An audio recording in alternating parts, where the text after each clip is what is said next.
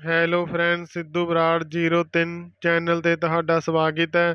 ਜਿਸ ਨੇ ਵੀ ਆਪਣਾ ਚੈਨਲ ਸਬਸਕ੍ਰਾਈਬ ਨਹੀਂ ਕੀਤਾ ਚੈਨਲ ਨੂੰ ਸਬਸਕ੍ਰਾਈਬ ਕਰਕੇ ਨਾਲ ਹੀ ਘੰਟੀ ਵਾਲੇ ਬਟਨ ਤੇ ਕਲਿੱਕ ਕਰ ਦਿਓ ਤਾਂ ਕਿ ਹਰ ਇੱਕ ਨਵੀਂ ਵੀਡੀਓ ਦਾ ਨੋਟੀਫਿਕੇਸ਼ਨ ਤੁਹਾਡੇ ਤੱਕ ਪਹੁੰਚ ਸਕੇ।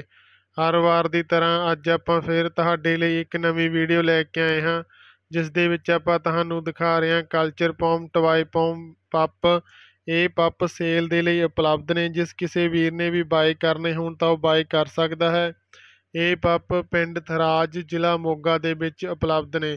ਤੁਸੀਂ ਪ੍ਰਾਈਜ਼ ਦੀ ਜਾਣਕਾਰੀ ਬਾਈ ਦੇ ਨਾਲ ਕੰਟੈਕਟ ਨੰਬਰ ਤੇ ਫੋਨ ਕਰਕੇ ਲੈ ਸਕਦੇ ਹੋ। ਬਾਈ ਦਾ ਜੋ ਕੰਟੈਕਟ ਨੰਬਰ ਹੈ, ਉਹ ਵੀਡੀਓ ਦੇ ਵਿੱਚ ਦਿੱਤਾ ਗਿਆ ਹੈ।